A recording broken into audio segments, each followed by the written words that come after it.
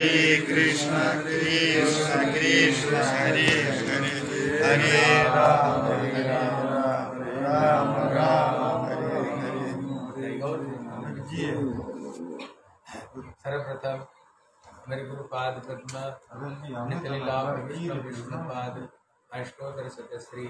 श्री श्रीमद भक्ति श्री रूप सिद्धांत गोस्वामी महाराज के चरण कमल में अनंत कोटि साष्टांग दंडवत। तत्पश्चात मेरी शिक्षा गुरुपाद पद्म विष्णु विष्णुपाद अष्टोत्तर सतश्री श्री श्रीमद भक्ति वेदांत श्रीला नारायण गोस्वामी महाराज के चरणों सर्वजन श्रद्धा, पुष्पांजलि अर्पण करता। हूँ उपस्थित समस्त वैष्णव वैष्णवियों को यथायुग प्रणाम करता। हूँ हरे कृष्णा। हाँ सुन लो। जो ग्रंथ है श्रीला भक्ति सिद्धांत सरस्वती गोस्वामी प्रभु का अधिकार उपदशा मिलता है। प्रभुपाद को भक्तों ने अलग अलग समय अलग अलग उन्होंने क्वेश्चन किया और प्रभुपाद ने जो उत्तर दिया है, ये ग्रंथ प्रभुपाद को प्रश्न किया है, बहु व्यक्ति के गुरु समान मने करा की उचित प्रश्न है, अगर हमने बहुत सारे व्यक्ति को गुरु गुरु जी जैसे अगर सम्मान देना चाहिए कि नहीं चाहिए हाँ?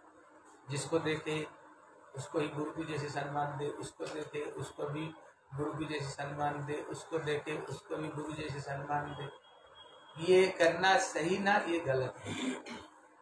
तो प्रभुपाद यहाँ उत्तर देते हैं, बोले, ना। बोले, ऐसे नहीं करनी चाहिए। इसलिए आया मत गुरु जगत गुरु और मन नाथ जगन्नाथ।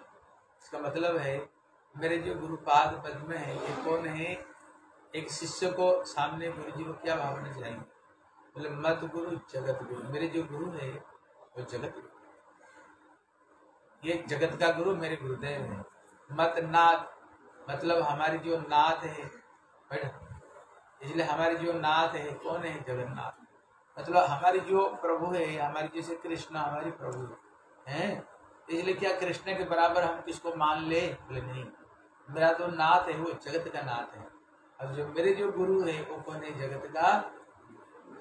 इसलिए चैतन्य चरितमृत में बताया, बोले, यद्यपि अमर गुरु चैतन्य दास, तथापि जानिया आमी तार प्रकाश कहते, कृष्ण ही जगत में एक ही ईश्वर है और कोई भगवान नहीं। अकेला ईश्वर कृष्ण हर सब कृष्ण ही एकमात्र जगत में ईश्वर है और जगत में सबके सब उनकी नौकर लेकिन एकमात्र भगवान कृष्ण ही जगत का मालिक है। इसलिए उसी दृष्टि से देखो तो फिर क्या देखेंगे? हमारे जो गुरु जी कौन है? कृष्ण तो एक ईश्वर है सब दास है। तो हमारे गुरु जी क्या हो गए? अभी भगवान की दास ही हो गए, हैं। लेकिन एक शिष्य अपना गुरु जी को क्या माने? एक शिष्य अपना गुरु जी को क्या माने? एक शिष्य का कर्तव्य है अपना गुरु जी को भगवान की प्रकाश, भगवान की अभिन्न रूप में जाना। भगवान ही हमारे ऊपर में कृपा करने के लिए एक गुरु मूर्ति धारण करते हुए जगत में आए। इसलिए हम पहले गाते हैं ना, संसार लोक, प्राणाय कारुण्य घन घनत्वम प्राप्त कल्याण गुणार्णवस्य बंदे रसी कभी गुरुदेव कौन है? तो विश्वनाथ चकुर ठाकुर कहते हैं, ये संसार रूपी जो दावानल है, संसार में जो आग लगी हुई दुख कष्ट की आग लगी हुई, है?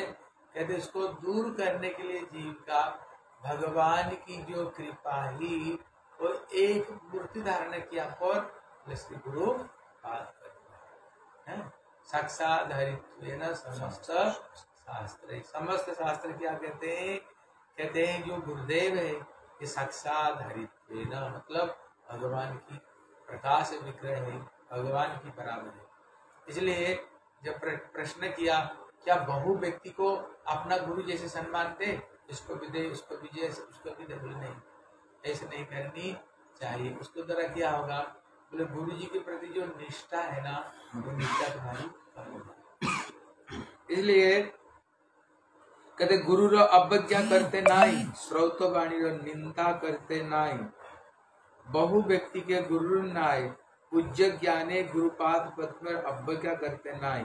अद्वैत ज्ञान ब्रजेंद्र नंदन आश्रय व्यतीत जीवेर अन्न मंगल नाई। इसलिए अगर बहु व्यक्ति को अगर अपना गुरु जैसे गुरु जैसे देखे तो क्या होगा? बोले, गुरु जी के चरण में अवज्ञा हाँ? गुरु जी के चरण में हमारी अवज्ञा हो जाती है। इसलिए कहते स्रोत वाणी निंदा करते नाई। जो स्रोत वाणी स्रोत वाणी मतलब भगवान को जो दिव्य ज्ञान, ब्रह्मा जी को दिया, ब्रह्मा जी ने नारद नारद जी, व्यास, जगत में जो ये स्रोत वाणी जो आया है, उसको तरह क्या होता है, उसको तरह बहु व्यक्ति को अपना गुरु जैसे सम्मान देने से उसके प्रति अनादर हो जाता है। इसलिए बहु व्यक्ति के गुरु नाय पूज्य ज्ञाने गुरुपाद अवज्ञा करते नहीं जो बहु व्यक्ति को हम अपना गुरु जी जैसे सम्मान देने लग जाए तो गुरु जी के चरण में भी हमारी अवज्ञा हो जाती है। अरे गुरु जी के प्रति हमारी निष्ठा नहीं रह जाती। इसलिए अद्वैत ज्ञान ब्रजेंद्र नंदन आश्रय व्यतीत तो जीवेर अन्न मंगल नाय। कहते जब तक ये जीव भगवान के शरण नहीं जाता है, तब तक जीव का कोई मंगल नहीं हो सकती है। इसलिए अमार श्री गुरुपाद पद्म दयार सागर, तार दया सिंधु एक बिंदु अमा के आनंद सागर में अपना करते पारे। तो यहाँ पर कह रहे हैं, कहते अमार गुरुपाद पद्म दयार सागर। कहते एक शिष्य गुरु जी को किस रूप में माने? मेरे गुरु जी कैसे बोले जो हमारे जो गुरुपाद पद्म है, कहते दयार सागर। वैष्णव ठाकुर दयार सागर एदा से करना हरि दिया पद छाया है हमारी तुम्हारे चरण इसलिए कहते गुरु को क्या समझनी चाहिए कहते हमारी जो गुरुपाद पद्म है ये दया की सागर है? ये दया की सागर सागर श्री गुरुपाद पद्म है इसलिए हमारी गुरु जी जैसे इसलिए हमारे श्री भक्ति वेदांत बामन गोसाई महाराज कहते वो कहते थे देखो उनका गुरु प्रति निष्ठा गुरु जी का प्रति उनको निष्ठा दिखाया करते थे। तो दिखा कर क्या बोलते थे? बोले, देखो, हम गुरु जी के चरण में इतने ऋणी क्यों? इसलिए हम गुरु गुरु गुरु गुरु क्यों करते हैं? तो बामन गोस्वामी महाराज दो, तीन बात कहते थे। पहला बात कहते थे, बोले, जब भगवान राम आए आए होंगे, उसी समय हम किसी ना किसी रूप में ज़रूर क्योंकि कृष्ण भूलि से जीव अनादि बहिर्मुख हम लोग कब से भगवान से बिछड़े हुए ना? ठीक पता नहीं कितना बड़ा पेड़ हो गए, कितने बड़े जानवर हो गए, कितने बड़े गद्दे कुत्ते सुअर हो गए। अनादि बहिर्मुख अनादि काल से हम भगवान से, अनादि काल से हम भगवान से बिछड़े हुए हैं। अनादि काल से हम भगवान से बिछड़े हुए जब बिछड़े हुए, जब भगवान राम आए होंगे, हम भी उस समय आए होंगे। लेकिन भगवान राम की हमारे ऊपर कृपा की? भगवान राम हमारे ऊपर कृपा की, हम कोई कीड़े, मकड़े होकर पेड़ पौधा जन्मे हुए जब भगवान, जब कृष्ण आए, जब उसी समय भी हम किसी ना किसी रूप में होंगे हैं। कोई पेड़, पौधा, कीड़े, मकड़े होंगे लेकिन भगवान कृष्ण की हमारे ऊपर कृपा की नहीं जब चैतन्य महाप्रभु आए, तभी भी हम किसी ना किसी रूप में होंगे लेकिन क्या चैतन्य महाप्रभु हमका कृपा की? कृपा नहीं जब छह गोस्वामी आए हम उसी समय किसी ना किसी रूप में, उसी समय भी हम किसी ना किसी रूप में होंगे लेकिन छह गोस्वामी की हमारे ऊपर कृपा की? नहीं की। है? जब नरोत्तम श्यामानंद श्रीनिवास आए, उसी समय हम किसी ना किसी रूप में जगत में होंगे क्या हमारे ऊपर उन्होंने कृपा दृष्टि की नहीं की नहीं। की नहीं। इसलिए तब प्रश्न है अरे हमारे ऊपर कृपा किसने किसने किया? हमारे ऊपर कृपा किसने की? बोले, श्री गुरुपाद हम इतना अयोग्य होने पर भी इसलिए कृष्णदास के विराज गोस्वामी कहते हैं पूरी सर कीट हईते मुई से लघिष्ठ, जगाई माधाई हईते मुई से पापिष्ट, मोर नाम लय जय तार पुण्य खाए, मोर नाम सुने जय तार पाप है एमन निर्घिन्न मर केवा कृपा करे, एक गुरु पाद पद्म बिना जगत मतलब क्या है? कहते हम लोग कहते हैं, जगाई माधाई से भी हम पापी थे। है कि नहीं? जगाई माधाई से भी हम पापी थे। वो इतने पाप किया, जगाई पढ़ाई चित्रगुप्त लिखते लिखते लिखते लिखते थक गए। रोज रोज आकर के जमदूत लोग जगाई माधाई ने आज मदिरा पान किया। आज मांस खाए। आज किसी घर में आग लगाए। आज किसी लड़की को छेड़खानी किया। आज किसको मारपीट किए। रोज रोज रोज ये चित्रगुप्त तो सुन करके इतने क्रोध आता था, वे डर लेकर मारने दौड़ रहे थे। बोले, रोज रोज एक व्यक्ति कभी इतना पाप कर सकता है? और उन्होंने पुस्तक लिखते लिखते लिखते लिखते पूरा घर कर बोले, हे भगवान, सोच रहे चित्रगुप्त ये कितने नरक कब तक ये नरक भोग करेंगे? कब तक नरक भोग करेंगे? इसलिए यहाँ पर कहते हैं, कृष्णदास कविराज गोस्वामी हम जगाई माधाई से भी ज़्यादा पापी है। कर पूरी तरह कीट है ते मुई से लगिष्ट मतलब पूरी तरह कीट मतलब टाटी में जो कीड़े होते हैं ना मतलब उससे भी हम गया विधा है?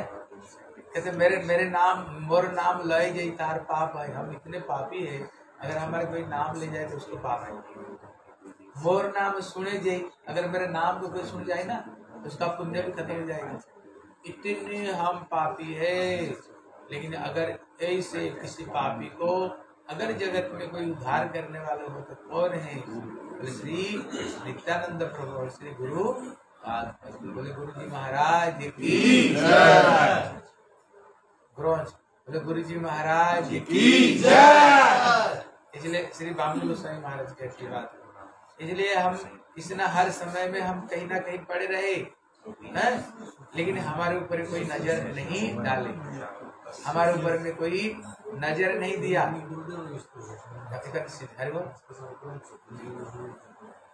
इसलिए उस समय हमारे ऊपर कोई नज़र नहीं दी, है? कोई नज़र नहीं दिया। लेकिन नज़र दिया तो हमारे ऊपर में कौन नज़र दिया है? गुरु जी नज़र। इसलिए बामन गोस्वामी महाराज कहते थे, इसलिए हम गुरु जी के चरण में बहुत बहुत। हम जैसे पापी के ऊपर कोई कृपा नहीं किया अगले गुरुदेव ही हमारे पापी के ऊपर में गुरुदेव कृपा किए चरण में आश्रय दे करके हमें भक्ति मार्ग में धीरे धीरे धीरे धीरे हमें बढ़ाए। जैसे कि बच्चा टाटी पेशाब कर देता है ना, मैया क्या करती है? उसको साफ़ सुथरा कर देती है। उसको साफ़ सुथरा मैया कर देती है। और कोई करेगा? हैं? इसलिए पिता भी नहीं करेगा। अगर बच्चा, अगर पिताजी का गोद में टाटी पेशाब कर दिया, किसको पास भेज देता है पास भेज देता है माँ पास भेज देती है? मैया जब साफ़ सुथरा कर देती है ना ए, बढ़िया करके सजा देती है। फिर पिताजी गोद में तभी लेते नहीं तो पिताजी गोद में नहीं लेते। इसलिए कहते गुरुदेव क्या है? कहती ये माँ है। गुरुदेव हमारी है? माँ है। ये क्या करते हैं? हमें अच्छे तरह से ज्ञान दे करके भजन की शिक्षा दे करके हमें साफ़ सुथरा कौन कर देते हैं? गुरुदेव हमें साफ़ सुथरा कर जब साफ़ सुथरा कर देते हैं ना ठाकुर जी खुश हो जाते ठाकुर जी खुश होकर फिर उसके गोद में ठाकुर जी ले। इसलिए यहाँ पर कहते हैं, हमारे जो गुरुपाद पद्म कौन है? कहते हमारी जो गुरुपाद पद्म है, दया की सागर है। दया की समुद्र हमारे श्री गुरुपाद पद्म। तार दया सिंधु एक बंधु आमा के आनंद सागर मग्न करते पारे। गुरुदेव, ऐसे दया की सागर है। अगर इसका एक बूंद अगर गुरु जी हमारे ऊपर कृपा करते ना, है? एक बूंद अगर कृपा करते तो क्या होगा? बोला, आनंद सागर में वो तो गुरुदेव हमें डुबा सकते हैं। इसलिए ठाकुर क्या कहते हैं? गुरुदेव कृपा बिंदु दिया ऋणापेक्षा सकल सहनी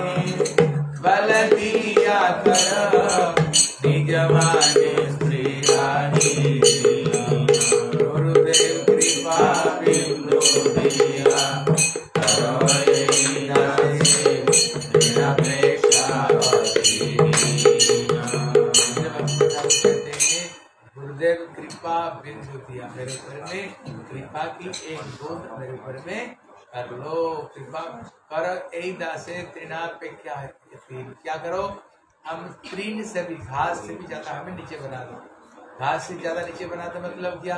जैसे हम चलते हैं ना, अगर घास के ऊपर पैर रख तो क्या होता है? घास नीचा हो जाता है। हो जाता कि नहीं? लेकिन जब पैर हटा दो क्या होगा? पैर सर को ऊँचा कर देता है। कहते ऐसे नहीं, नीचा हो गया तो नीचे ही रहेगा। कभी सर को ऊँचा नहीं करे। क्यों? ऐसे क्यों कर? बोले सकल सहने बल दिया करो निज मान जब अपने आप को दीन ही नहीं मानेंगे ना सबको हम सम्मान देंगे गुरु वैष्णव सबको सम्मान देंगे। अगर दीन ही नहीं, मानेंगे ना हम घमंड आएगा अभिमान हमारे अंदर में आएगा क्या हम किसी की कमी है? हैं अब क्या किसी चीज़ की कमी है? हम क्यों छोटे बनेंगे? हम छोटे नहीं हम बड़े हैं। हम छोटे नहीं हम बड़े हैं। हैं? लेकिन जब बड़ा अभिमान आए ना फिर हमको भजन करने भजन करने। उसमें सकल सहने बल दिया करो। जब हम अपने आप को छोटा मानेंगे अगर कोई कोई थोड़ी सी कोई बात बोल दिया ना सहन कर लेंगे अगर बड़ा मानेंगे ना अगर थोड़ी सी कोई बोल दिया चार पाँच से तीन अगर अलग हो गया ए अपना उग्र दिखा दे हमें क्या समझते हो? हैं हम क्या साधारण है? ए अपना मूर्ति दिखा दे। हैं? इसलिए अगर दीन ही नहीं मानेंगे तो जो जो कुछ बोल देंगे ना हम सहन कर लेंगे हम सचमुच से तो पापी पाखंडी है। हैं? इसलिए सचमुच से तो बोल रहे लेकिन और एक बात याद रखनी चाहिए। बोले, सबको सामने दीन ही नहीं बनेंगे। दुष्टों को सामने नहीं बनेगी। अगर कोई गुरु वैष्णव ऊपर में कोई उल्टा सीधा बोल दिया, है? कोई गुरु वैष्णव के नाम पर उल्टा सीधा बोल दिया वहाँ छोटा नहीं बनेगा। वहाँ छोटा नहीं बनेगा, है? वहाँ पर तो अपना स्वरूप दिखाएँगे। क्यों? गुरु वैष्णव का निंदा को नहीं सुननी, है? इसलिए, लेकिन अगर गुरु वैष्णव को निंदा नहीं सुननी चाहिए, लेकिन अगर भक्तों को अगर हम कहीं सुधारने के लिए कोई शासन करते हैं भक्त लोग, वहाँ पर हम छोटे नहीं गुरु वैष्णव का शासन ग्रहण हमारी कल्याण होगी ठीक है? इसलिए यहाँ पर कहते हैं, अगर गुरु जी की एक कृपा बुद्ध अगर हमारे पर पड़ जाए तो क्या होगा? एक दिन हम आनंद सागर में हम डूब जाएँगे। इसलिए गुरुदेव कतो ना दया करे आमात के बोलते तुम्हारे पांडित्य यहाँ पर प्रभुपाद कह रहे हैं उनका गुरुदेव थे श्री गौर किशोर दास बाबा जी महाराज, वो अपना गुरु जी की बात कह रहे हैं बोले गुरुदेव कितने दया करके बताया करते थे क्यों उसी समय में जो प्रभुपाद थे ना उनके बराबर में विद्वान नहीं था। वो धुरंधर विद्वान थे ज्योतिष विभाग में ज्योतिष प्रिंसिपल था। उनको साथ में उन्होंने शास्त्रार्थ लेते करते उन्होंने क्या किया? सारे जो मत खंड विखंडित कर दिए। जो प्रिंसिपल था ज्योतिष विभाग का, इनकी आर्गुमेंट, इनकी तर्क वितर्क सुन करके वो चेयर में बैठी हुई तो चेयर में टाटी बिठा कर दिया बहुपाद के विचार को सुन तब उसी समय में सब विद्वान लोग मिलकर के प्रभुपाद को भक्ति सिद्धांत, सरस्वती दूसरे, सरस्वती उपाध्याय किया दूसरे सरस्वती विद्वान प्रभुपाद बोले, आप एक कुर्सी में बैठो। प्रिंसिपल, ज्योतिष का प्रिंसिपल कुर्सी में बैठो प्रभुपाद बोले, मैंने ईट पत्थर और ये तारा को गिनने के लिए मैं नहीं आया हूँ। मैं तो महाप्रभु के द्वारा प्रेरित होकर के उनका कि प्रिया, जगत में हरि भक्ति को प्रचार करने के लिए मैं आया हूँ। जगत में हरि भक्ति को मैं प्रचार करने के लिए आया हूँ। है? इसलिए प्रभुपाद नहीं लिया। बोले, देखो, जब तक तुम रहोगे प्रभुपाद जब तक दुनिया में तुम रहोगी जो कुर्सी है, तुम्हारे लिए खाली रहेगा। और कोई नहीं बैठ सकता। तेरे सिवाय इसमें और कोई नहीं बैठ सकता। प्रभुपाद की विद्वता को देख करके जगन्नाथ दास बाबा महाराज, भक्ति विनोद ठाकुर गौर किशोर दास बाबा महाराज इतने प्रसन्न हुए थे लेकिन दुनिया में सारा महापुरुष का वाणी प्रचार कर सकते सचमुच से बीच किया। गौरी में किया?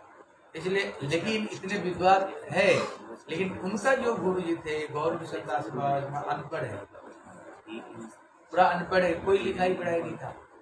लेकिन कृष्ण धन में धनी, कृष्ण धन ले धनी, बड़े कृष्ण धन में सबसे बड़े धनी कृष्ण धन में थे अनपढ़ थे।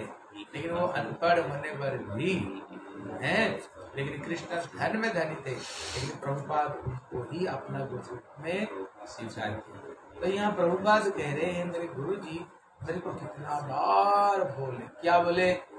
मेरे गुरु जी क्या बोलते थे? बोले, तुम्हारे पंडित तो अपने आप को जो इतना पंडित समझते हो, हैं? इतना जो पंडित समझते हो।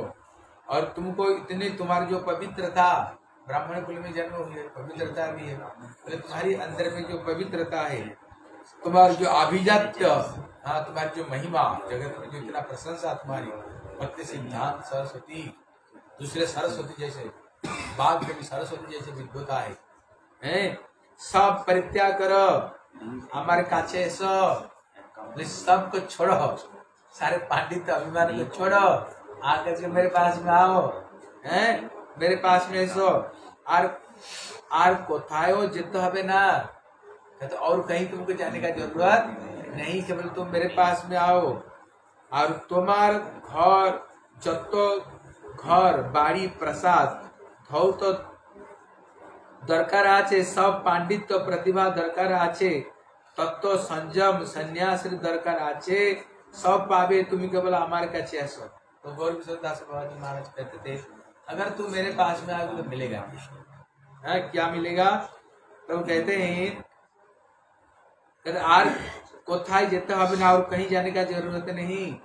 अगर तुमको जितने घर चाहिए, जितने तुम्हें मकान चाहिए, हैं, जितने सौध मतलब विशाल तुमको, हैं, आलिशान मकान चाहिए, जितने तुमको पांडित्य चाहिए, जितने प्रतिभा तुम्हें चाहिए, जितना संयम चाहिए, संन्यास दरकार आज अगर तुमको संन्यास चाहिए तो मेरे पास में आज सब तुमको मिल जाएगा गौर से रहे थे तो मेरे पास में आओ उसको तो सब मिल जाएगा मतलब क्या है?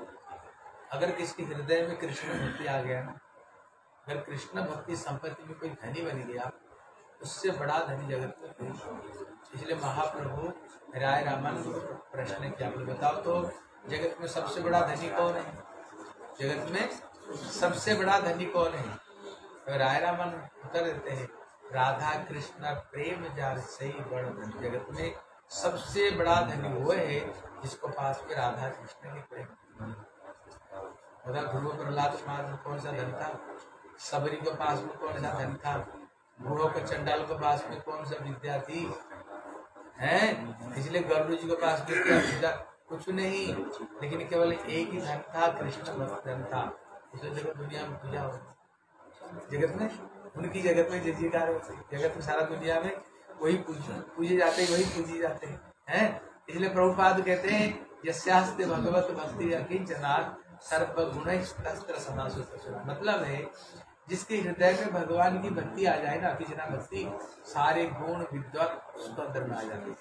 अगर हराव अभक्त गुणा और भगवान से जो भक्ति भक्तिहीन है उसका अंदर में कहाँ ये गुण आ सकती है, वो तो अपना मन को द्वारा इधर उधर घूमता रहता है। घूमता रहता है, इसलिए एक धन प्राप्त कर लो, कृष्ण भक्ति धन कृष्ण प्रेम धन को प्राप्त कर लो। है, अमर कच्चे। घर हो द्वार हो पांडित हो बुद्धि ते दौरा ना।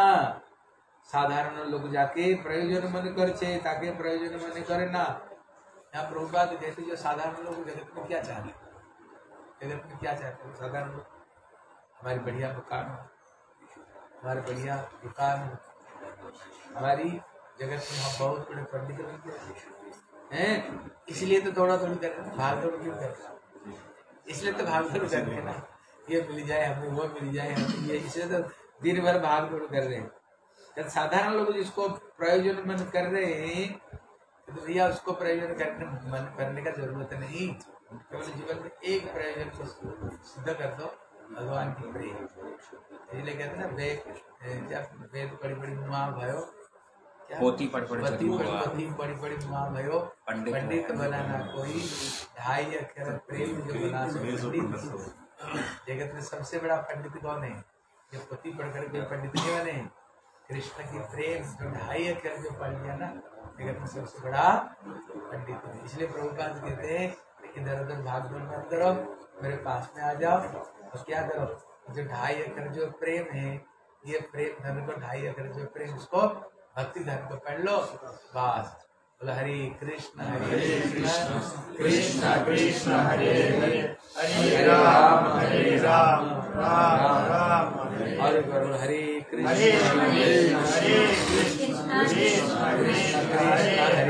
हरे राम हरे राम राम राम हरे हरे हाँ, और एक प्रश्न और पाँच मिनट हाँ, किसने प्रभुपाद को और एक प्रश्न किया बोले जगत में बहुत उपासना है जगत हमारे भारत में तैतीस करोड़ देवता है तैतीस करोड़ देवता है किसने पूछा जितने उपासना में जगत में सर्वश्रेष्ठ उपासना है जगत में सबसे बड़ा उपासना किसको उपासना करें जगत में? सबसे बड़े उपासना की है। कहते मधुर रसे, नंद नंदन सेवाई, सकल साधन श्रेष्ठ हो, साध्य श्रेष्ठ। कहते रस पाँच तरह का है। शांत रस, दास्य रस, सख्य रस और बात्सल और मधुर। पाँच तरह का रस है? पाँच तरह का रस से भगवान को उपासना करते हैं। लेकिन ये सर्वश्रेष्ठ रस कौन सा? बोला आद्य एव पर रस आद्य मतलब श्रृंगार श्रृंगार रस मतलब गोपियों ने श्रृंगार मतलब जितना पहाड़ का श्रृंगार सर्वश्रेष्ठ। फिर जितने भगवान की भक्ति है, उसमें जो सर्वश्रेष्ठ जो भक्ति, ये गोपियों ने जिस भाव से किया है।